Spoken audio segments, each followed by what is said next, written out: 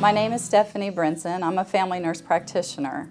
I've always known that I wanted to be in healthcare ever since I volunteered as a candy striper in hospitals um, in my middle school and high school years. I went to UNC Greensboro School of Nursing and graduated with a bachelor's degree in nursing and spent much of the next 25 plus years working in a variety of healthcare settings, uh, hospitals, clinics, home health care.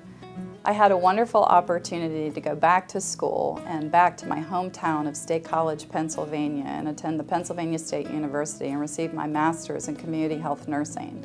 While I was there as a teaching assistant, got an opportunity to teach undergraduate nursing students. When I left Pennsylvania State, I moved to El Paso, Texas and became a professor of nursing teaching nursing undergraduate students at the University of Texas at El Paso. I then moved back to North Carolina and took a job at North Carolina Central University where I also taught undergraduate nursing students for about a year. And then I had a great opportunity to go back to school to UNC Chapel Hill to receive my postmaster's degree and my family nurse practitioner certification. I was bestowed the honor of becoming an adjunct faculty member at UNC Chapel Hill as well as East Carolina University in the last 10 years. I'm also a student nurse practitioner uh, preceptor for Duke University and UNC Wilmington.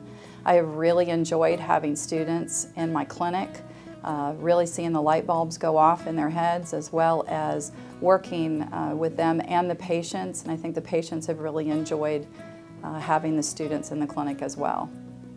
I really love patient care and I believe it's why I've been put on this planet. I have a huge heart and I love to listen to patients. I think it's very important to listen and hear what patients tell you. As part of a team, I want to work with you to be able to establish achievable goals for you and I to work towards a healthy lifestyle and wellness. I love living in the Raleigh area. My favorite thing is to enjoy a lot of the eclectic restaurants. I love different cultures and different foods, and I'm definitely a foodie. I enjoy traveling uh, here in the United States, locally in North Carolina, especially the beaches. It's definitely my favorite. I, uh, Key West, Florida is one of my favorite places to be in the world, and I look forward to the opportunity to be able to travel abroad. I love spending time with my family and friends.